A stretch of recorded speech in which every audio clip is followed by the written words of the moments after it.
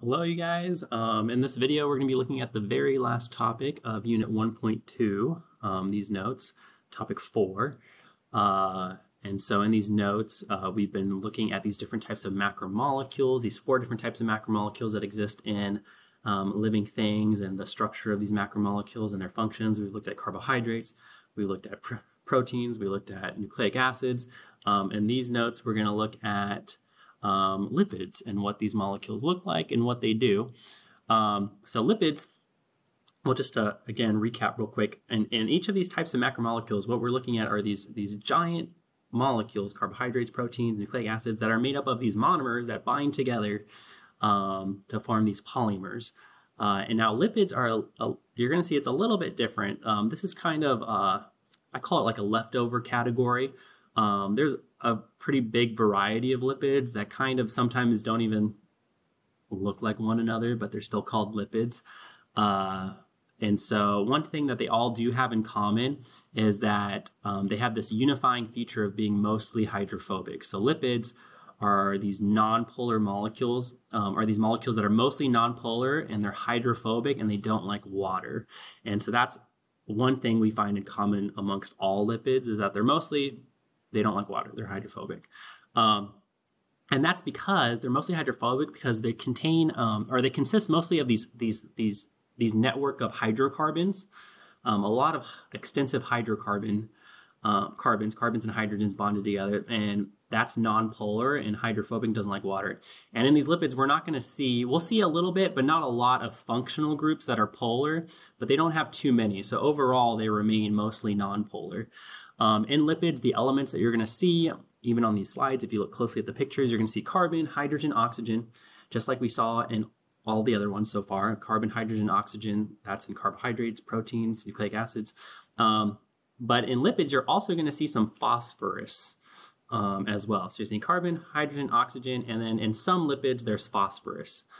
Uh, and uh, another thing to point out is that uh, and you'll kind of this will make sense a little bit more in a second is that lipids technically we don't consider them true polymers um, which carbohydrates nucleic acids and proteins those are true polymers which means they're made up of monomers that can bind to each other repeatedly and over and over and over and over and over again very extensively. In lipids um, we will see things that kind of look like monomers um, these smaller pieces that do bind together, but they're not going to bind to each other repeatedly, forming these almost infinitely long macromolecules.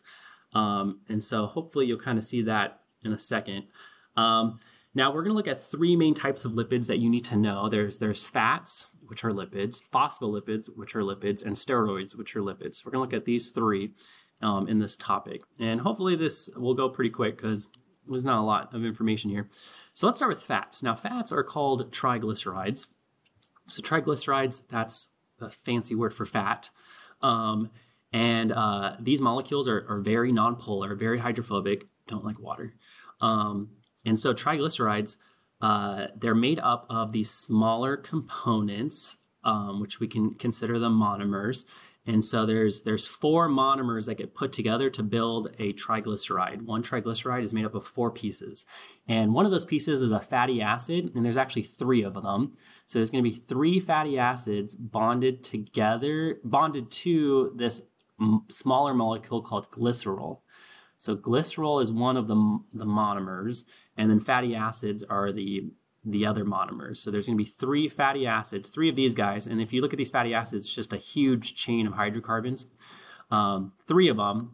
And we're going to bond it to this glycerol molecule, which contains three carbons, carbon, carbon, carbon. And to each of those, we're going to attach these um, fatty acids to. So this is a triglyceride right here. Um, where my mouse is circling. This this guy, this one, this one thing is a triglyceride. Three fatty acids bonded to a glycerol molecule. Um, and then that's that's the triglyceride. And so this is kind of what I was saying earlier about them not being true polymers. You can't add on to this. Like you can go build another triglyceride, but that's going to be a separate molecule. Like this molecule is done. Like it's you put these guys together, those four pieces, and then you have your molecule. You can't keep adding on to that, um, which makes it a lot different than the other macromolecules we were looking at. Anyway, these um, fatty acids are joined to the glycerol via a dehydration synthesis reaction. Um, just like we've been seeing over and over again. So that's what bonds these monomers together, and so and results in a water molecule being produced. And so then you end up with this new bond now connecting this glycerol with this fatty acid chain. Um, and we call that linkage an ester linkage. That's the name of the bond that links together the glycerol with a fatty acid. So to make one triglyceride, you're going to have to do three dehydration synthesis reactions. So one reaction here to join this fatty acid, another one to join this fatty acid, and a third one to join this fatty acid. And that's going to result in three new covalent bonds now connecting these guys to the glycerol molecule, um, these ester linkages, and now you have your triglyceride. Um, or this molecule of fat. Now, the function of triglycerides, like why are these things and living things and what do they do? Um, and uh, their function mainly is energy storage. And so fats are used to store energy. All of these carbons and hydrogens, carbons, these, these carbon hydrogen bonds, which there's a lot of in this picture here, those are, are, are, basically storing a bunch of chemical energy that cells can tap into when needed. So these are really good at uh, storing large amounts of energy in a compact structure because of all of these these bonds that we see. Um, and inside these bonds, there's there's chemical energy that we can we can access later on. And so um, they're used to store energy. And this is uh, kind of like carbohydrates. Carbohydrates are also used to store energy. But the, the difference here is triglycerides, these fat molecules, this is usually for long-term energy storage. So this is energy that an organism probably won't use for a while. So this is they're going to save it in their body for much later year use, which could be years later even. Um, but it's really good at packing in lots of energy in this condensed little molecule. Um, and in mammals, also, it's worth pointing out that in mammals, we've also we use fat to store energy, but we've also evolved to to use fat to to insulate our bodies, to control, make our bodies nice and warm, and not lose heat as much. Um, but that's the function of these these triglycerides. And so this picture kind of summarizes the synthesis of triglycerides, or if you were to take this triglyceride and break it down, you're either putting the fatty acids together with the glycerol or taking them apart via dehydration reactions or hydrolysis reactions. Um, there's two types of triglycerides uh, that you guys need to know. There's there's saturated and unsaturated triglycerides, or we could just say saturated and unsaturated fats. Um, you might have heard these words before because in all the food you're eating, and a lot of the food you're eating, if you look at the nutrition label, not only will you see that you're eating carbohydrates and proteins, but um, in a lot of the food you're eating, you're, you're also eating fats. And those fats can be which are triglycerides, these molecules I'm showing you, they can be um, classified as either saturated or unsaturated. So I want to explain the difference because you guys need to know the difference. In saturated fats, saturated fats um, are triglycerides, and they have these three fatty acid chains connected to glycerol. But these fatty acid chains, um, they're going to contain all single bonds between the carbons. If you look at this fatty acid right here that they're zooming in on and showing you the structure of, between all of these carbons, there's single bonds, single bond, single bond, single bond, single bond, single bond, single bond. So they all have 100% single bonds in this fatty acid and in this fatty acid and this fatty acid. That's that's a saturated fat by definition. Is when you have um, fatty acids or a fat molecule, a triglyceride, that contains fatty acids that have all single bonds. And now this is the type of fat that you're usually going to see produced in animals. Animals produce a lot of saturated fats. So even humans, the fat that's in your body um, is is is mostly saturated fat.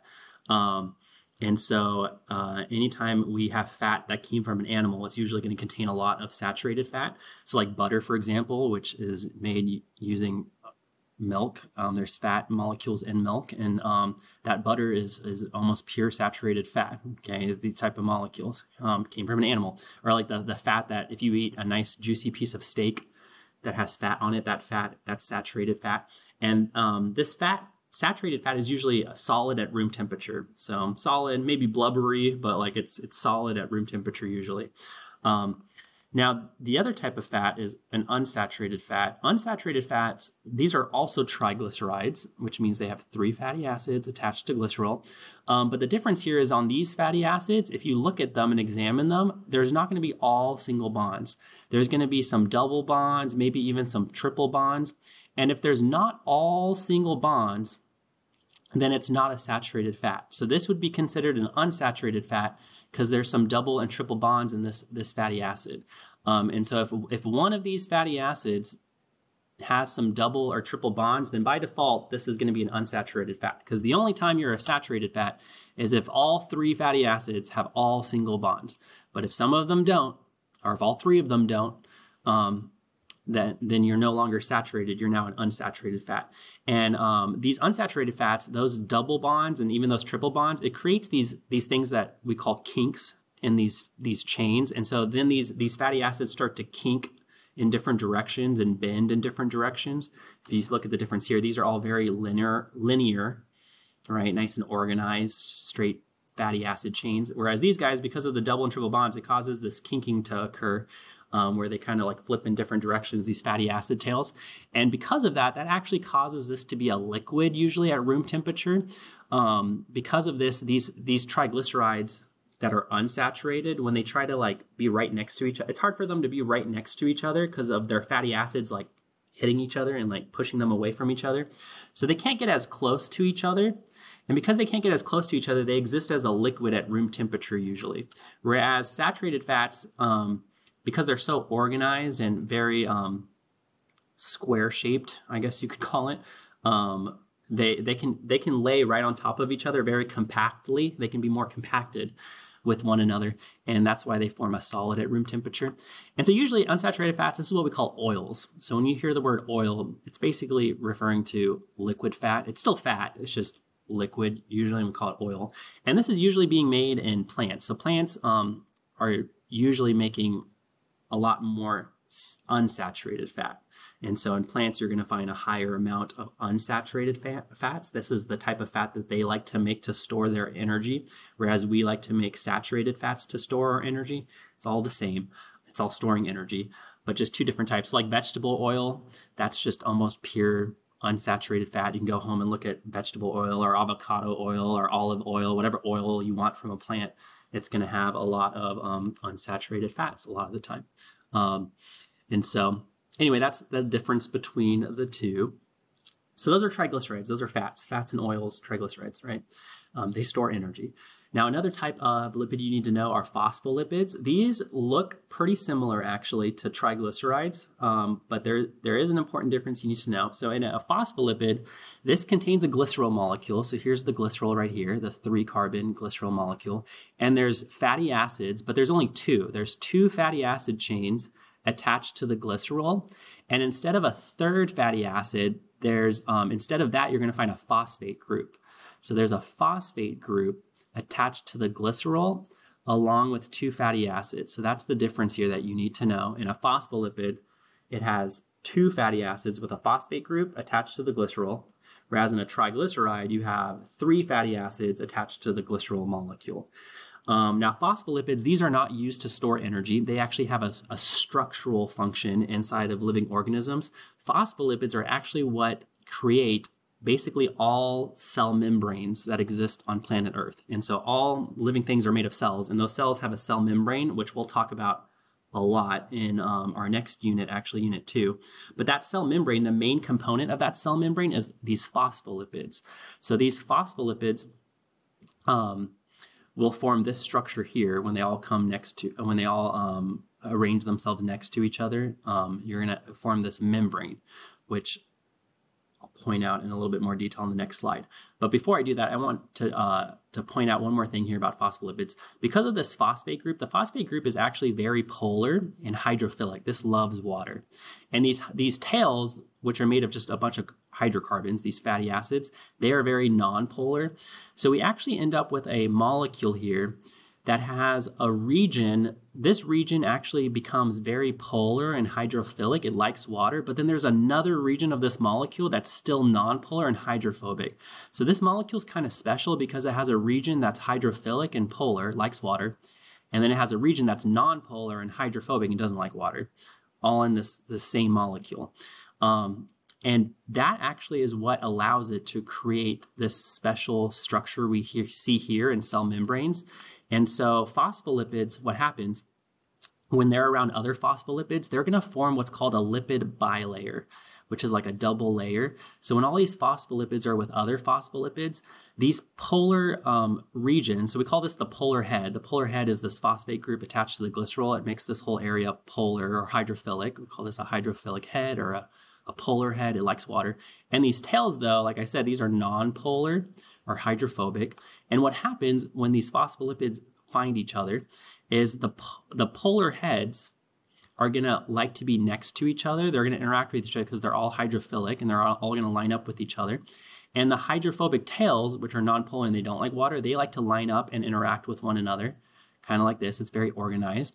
Um, but then we actually end up creating a, a double layer where there's a layer of phospholipids here, where my mouse is circling, and then there's another layer of phospholipids here, and those two layers are actually facing um, facing each other in a way where the hydrophobic tails are all in the middle of this layer.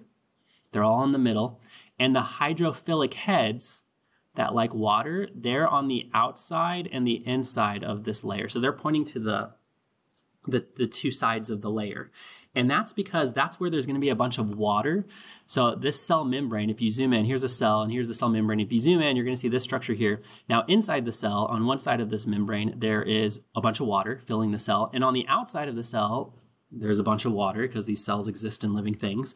And um, so we end up with this double layer that forms, this lipid bilayer where the hydrophilic heads are exposed to the inside and the outside of the cell where there's water and the hydrophobic tails are all hiding inside the bilayer away from the water to get um, away from the water because they're hydrophobic.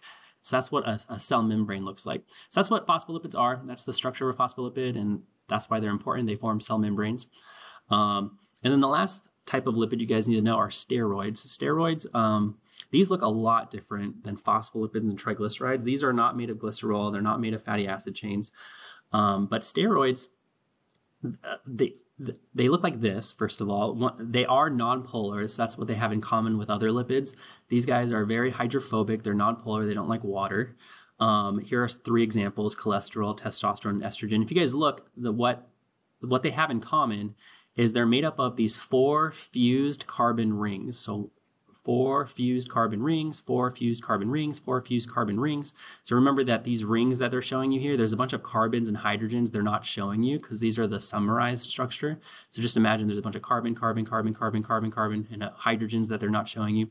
But these four fused carbon rings is what is characteristic of a steroid. That's how you know you're looking at a steroid molecule. So when I look at this, I know it's a steroid because there's four fused carbon rings. Um, and these are going to be non-polar because um, and, and hydrophobic. They don't like water, and they're mostly non-polar because of all these hydrocarbons. Um, and so some functions are examples of steroids. First of all, cholesterol is one example we'll kind of look at soon in the next unit, not so much right now, but just know that cholesterol is actually a component of the of the cell membrane in animals. So in our cell membranes, we have some cholesterol and it's it's doing something to help with the cell membrane and we'll talk about that later. Um, but then there's also sex hormones. So uh, you guys have certain hormones that are responsible for your sexual development um, as male or female. Um, there's testosterone and estrogen. Um, and these hormones are released in your body and bind to different cells in your body and cause different things to happen in your body. And these hormones are actually steroids, which are lipids. So these are these are steroid molecules, which are lipids. Um, and if you remember, if you're paying attention to all these videos and you're studying, um, I also said that proteins are hormones. And so this is another thing that confuses students. Most of your hormones in your body are actually proteins, but your sex hormones, specifically testosterone and estrogen, these hormones are, are lipids. These are steroids, which are lipids. They're not proteins. And so, but anyway, there's some examples of, of steroids, um, which are lipids, and they're hydrophobic and they're nonpolar. They don't like water. Uh, so that's that's basically it. So you guys need to know those three types of lipids, triglycerides, phospholipids, and steroids, and basically know the, their basic structure and functions. And then that's all you need to know about lipids. Thank you guys for watching. I'll see you later.